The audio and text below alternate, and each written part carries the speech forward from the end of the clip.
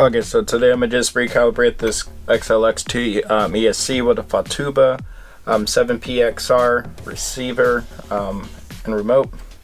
The receiver and transmitter that I'm using today is a R334SBS-E. This is the four channel um, receiver and you don't really need that many channels on a speed run car if you're running fans, things like that. This one I'm just running just a basic uh, motor, batteries, um, servo and receiver. So I'm running a four channel. That's all I really need.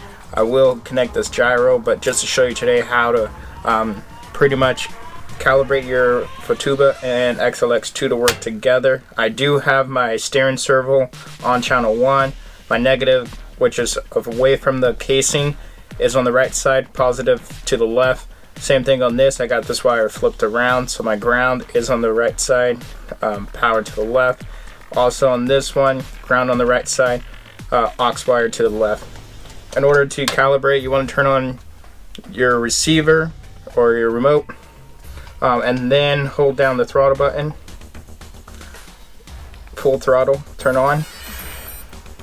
Wait till it turns green, beeps. Go forward. Hold it. Neutral. And then now it's calibrated. So we should be able to get um, power going forward and backwards.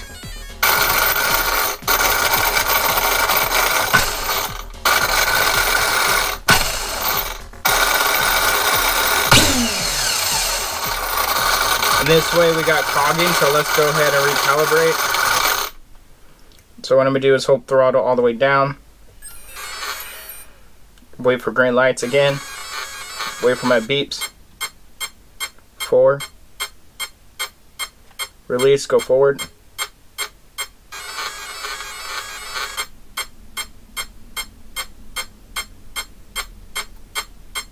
Release.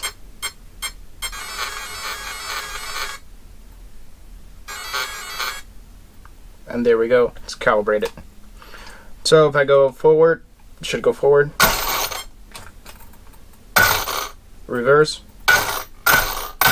And one thing to keep in mind on your remote side, you do want to go into um, user menu or menu, linkage menu. Then you're going to go to channel reverse. Make sure your channel 2 is reverse if you're using Futaba. Um, just so that you have that output. If you do have a motor that is reverse, like this case, um, you do want to go with your Castle Link and reset your motor direction to reverse as well. If you're flipping it that way, then you want to make sure your appropriate motor is going um, in the correct direction. So there you have it, how to calibrate a ESC to Futaba remote.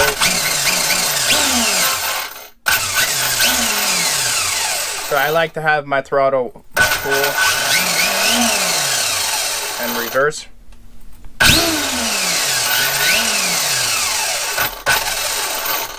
Um, that's pretty much how I have it. So if I want to go in on the remote side, I'll set up ABS so that way when I go into full reverse, it's not going to go into reverse. It's going to do ABS braking so that way I don't overload the ESC, catch it on fire. There's a lot of guys out there that is overloading the ESC, it's catching on fire, things in that nature.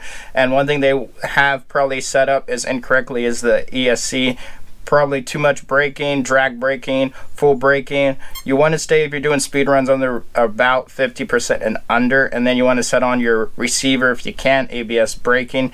ABS braking is just going to not let that motor go into full reverse on the full run. your, your wheels are pretty much going to go a little bit, and then it's going to like do ABS pulsing. So in that case, you're not going to really stress out the motor. Um, you're not going to stress out the ESC, and you can slow down your vehicle safely. Like, subscribe, sh share, do whatever you want. Enjoy life. Have a nice day.